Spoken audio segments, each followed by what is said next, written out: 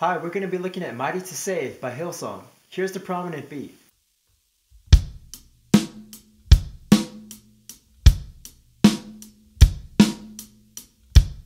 The kick and snare.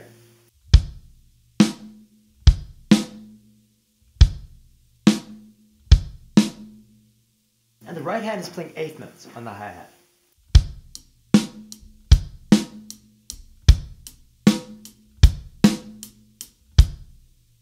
An easy way to make this beat more complex is to add 16th notes with your hands. So we're going to derive it from the snare drum.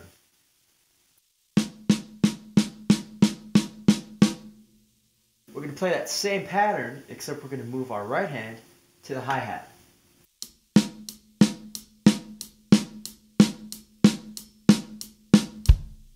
Now we can incorporate some of that into the beat.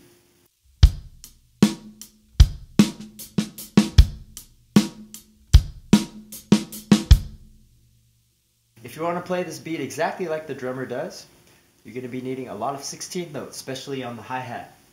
And you're going to play some broken 16th notes on the snare drum, like this.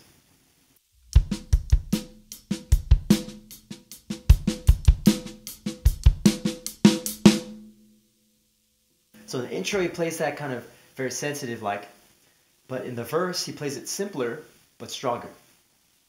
Moving on to the chorus, it's just a very simple straight rock beat like this.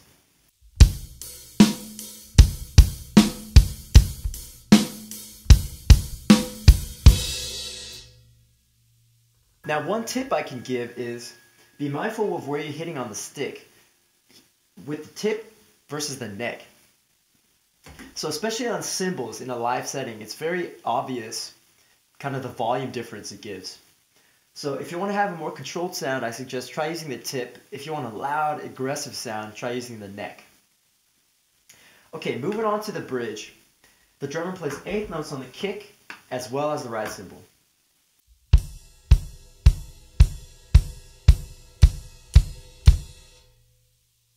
And the snare is on two and four.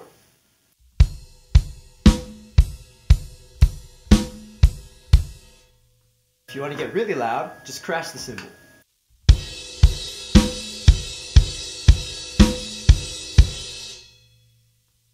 In my opinion, it's easy to rush these types of beats when you're playing kind of a lot, just kind of in a simple sequence. Also in the verse, when you're doing a lot with your hands, it's easy to rush. So what I recommend for a song like this is to always be relaxed and to fall back into the quarter note instead of trying to rush forward and be on top of everything with the beat. So always keep that in mind. Just stay relaxed. It's not about how you look, it's about how it sounds first. You're drumming. So you just want to focus on that.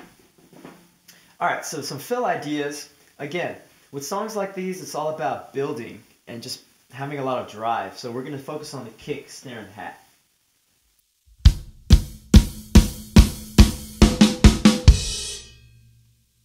Take that same 16th note from the snare, just move it around with the toms if you want.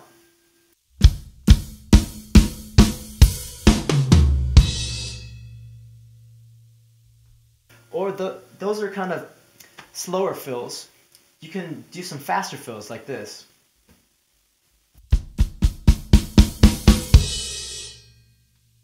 Kind of more of a 16th note style. On the toms.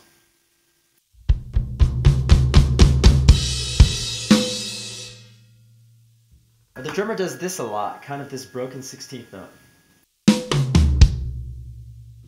So it's a 16th note, one, E, and uh.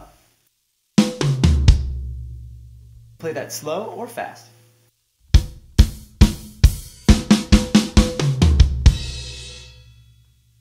A little faster.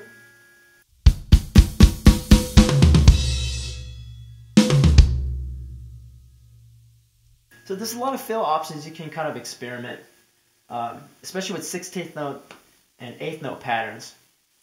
But that's pretty much it for this song. Make sure to just have fun.